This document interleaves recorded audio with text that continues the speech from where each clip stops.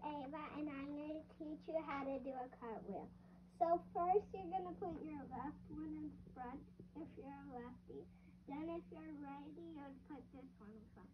But a lot of times, you got to put this one in front, but this one is my lefty, so I just put my, and then the lunge, then go down, then go back.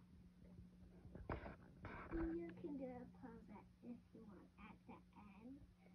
Because it's really important if you know how to do a cartwheel. Because you really need get your legs like straighter.